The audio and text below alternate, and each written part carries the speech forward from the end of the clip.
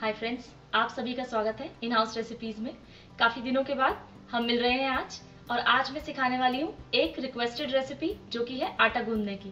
खाना जब हम बनाना सीखते हैं या बनाना चाहते हैं तो सबसे पहले एक चीज़ आती है जहन में, वो होती है आटा गूंदना, जो कि काफ़ी डिफ़िकल्ट लगता है उन्हें, जिन्हें ये बनाना नहीं आता या गूंदना नहीं आता। ये काफ़ी सिंपल है, मैं आपको बताने वाली हूँ। कुछ ही स्टेप्स में आइए देखते हैं कैसे बनाया जाता है या गूंदा जाता है आटा।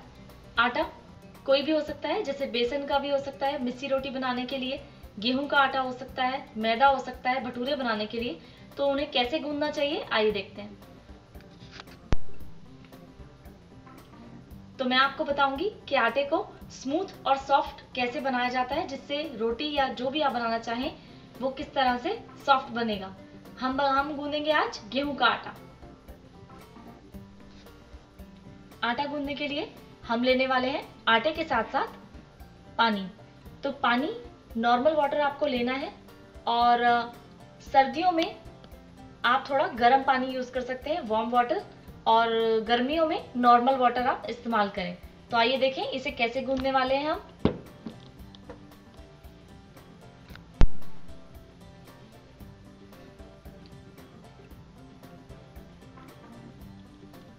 आटा जितना भी आप लें, पानी की क्वांटिटी उसी हिसाब से हम देखेंगे। जितना जितना हम थोड़ा थोड़ा डालेंगे, पानी आटे के हिसाब से ही हमें डालना है। तो आइए स्टार्ट करते हैं आटा गूंदना। सबसे पहले थोड़ा सा पानी लें और डालें और इसे मिक्स करें। आपने हरी नहीं करनी है कि आपने सारा पानी एक साथ डाल देना है। थोड़ा थोड़ा पानी डालें ताकि आटा ज़्यादा पतला ना हो जाए। अब इसे अच्छे से मिक्स करें। फिंगर्स के साथ इसे थोड़ा सा इस तरह से मिक्स करें। देखिए, ये थोड़ा गुनता जा रहा है, जिस तरह से आप देख रहे हैं। अब इसमें और थोड़ा सा पानी ऐड करें। और इसी तरह से बार बार थोड़ा थोड़ा पानी डालकर इसे गूंदें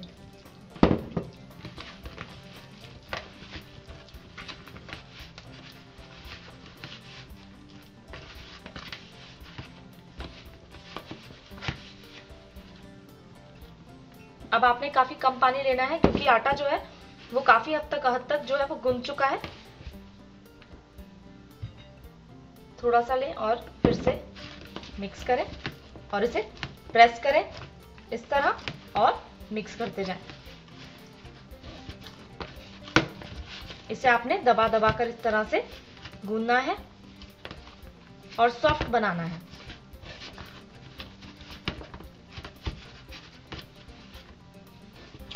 जितना आप इसे गूंदेंगे, उतना ही ये ज़्यादा अच्छा फ्लफी और सॉफ्ट होता जाएगा। और आपकी जो रोटी है या पराठा है, वो काफ़ी अच्छा बनेगा। आटा जितना स्मूथ होगा, जितना आप उसे गूंदेंगे, आपको बेलने में काफ़ी आसानी रहेगी। इस तरह से सारा जो है ये सूखा आटा आप इसमें लगा लें। और इस तरह से इसे गूंदें दबा दबा कर। ऑलमोस्ट जब आपका आटा गुंज जाए तो आप इसमें पानी ना ऐड करके अपने हाथ को पानी से थोड़ा गीला कर लें और उसके बाद अगेन इसे इस तरह से गूंदें ताकि ये अच्छे से स्मूथ और सॉफ्ट बन जाए। अगर आटा हल्का सा ड्राई हो जाए, आपका हाथ ड्राई हो जाए तो अगेन आप अपने हाथ को गीला करें रादर देन आटा। या इसमें पानी ऐड करना आटा जो है वो थोड़ा फैला फैला फटा फटा सा ना लगे, तब तक आप इसे गूंदें तो ये लीजिए, हमारा आटा गूंदकर तैयार हो गया है। ये काफ़ी सॉफ्ट और अच्छा बना है। अब आप देखिए, अब आप इससे रोटियाँ बनाएँ और या पराठे बनाएँ और सबको खिलाएँ। फ्रेंड्स, ये रेसिपी आपके काम आएगी और आप जो भी मैंने टिप्स दिए उन्हें इस्तेमाल करेंगे आटा गूंदते समय। अगर कुछ भी ऐसी चीज़ है जो मैंने एक्सप्लेन की और आपको समझ नहीं आई तो डू राइट मी। मैं आपकी प्रॉब्लम या कोई भी, जो भी आपको नहीं समझ आया, वो आपको एक्सप्लेन करूँगी। Thank you so much for being with in House Recipes.